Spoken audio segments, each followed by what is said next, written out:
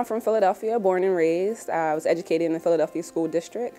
Um, right now I work at the University of Pennsylvania and the Penn Center for Minority Serving Institutions. My path to Cheyney started with my parents. I, I guess by definition, I'm a second generation college student.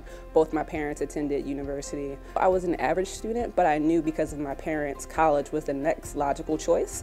Cheyney just was the better fit for me. It had what I wanted. They gave me the support that I needed, but they also gave me financial support. So um, coming in as a Keystone Honor student, I didn't have to take out a loan. So it just made more sense for me to come to Cheyney. So I'm a class of 2017 graduate. Uh, immediately after leaving Cheyney, I took a position with the Kellogg Company where I came on as a sales representative. Uh, since then, I have transitioned to a new company, so now I'm a sales representative with Kraft Heinz. I think what's most interesting about my story is initially college wasn't in the plans for me. So my junior year of high school, I transferred to a school in Philadelphia called Imhotep Charter, um, where I was able to develop uh, a network of mentors and advisors uh, who really stressed the importance of college or college education, uh, most of which were Cheyney alumni. Um, so I had a lot of people around me who showed me the success after college and what that would be like. And from that point, I knew that Cheyney was kind of the home for me. In high school, I was a good student, but not a great student, and so it's like I kind of floated in the middle. But coming to Cheyney, I was labeled as a scholar. So from like day one, that reaffirmations and affirmations that you can do it gave me confidence, and it, it felt to me that Cheyney valued me and made a commitment to me.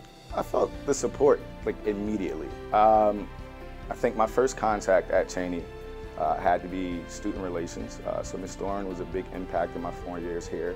Uh, from there, uh, I met Dr. Turnipseed, who heads the hospitality program, and uh, we were close for the entire four years. He, he's had a major part of my success as well. So working with my mentors here, um, Dr. Wesley Plummer, um, Dr. Tara Kent helped shape my identity around career and education.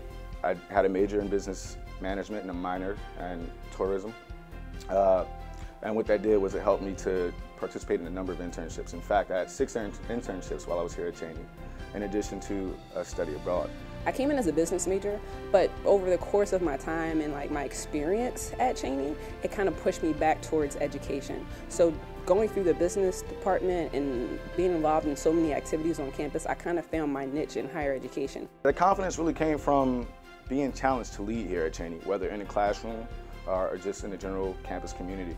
I was always challenged to lead. I think that I got the entire collegiate experience. I was involved in almost every collegiate activity that you could think of on campus, but I, I credit Cheyney for giving me that opportunity and giving me that support that let me know that I could do it. I would definitely say that my degree holds weight.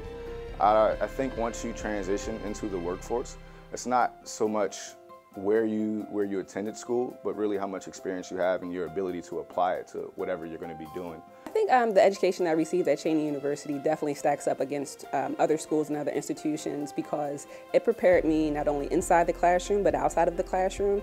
If I could offer any advice to prospective students um, or current students, it would be to be present. I think that presence plays a big role in your ability to achieve success.